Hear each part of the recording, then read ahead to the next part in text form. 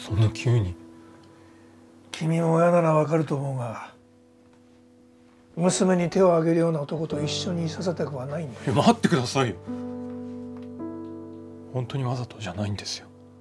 それに派遣切りにあったそうじゃないか。次の職は決まっているのかね。いや。高橋さん二人のことは私たちが責任を持って面倒見ますから。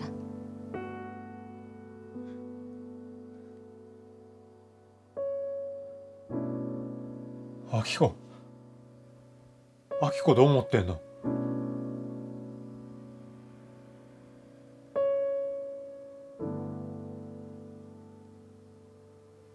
私は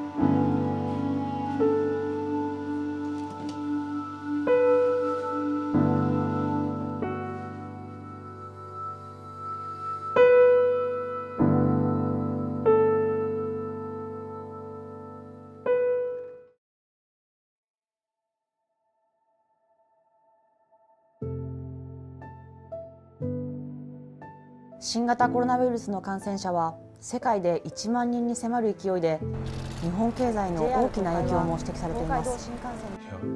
困りますよ急に。社宅を追い出されたらじゃあどうやって暮らしていけばいいんですか？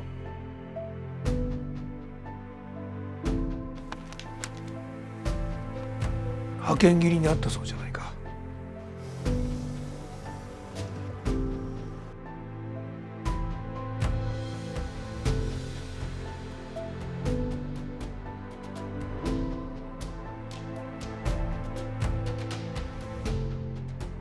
館内での寝泊まり飲食は禁止となっております。ここ誰か住んでんじゃない？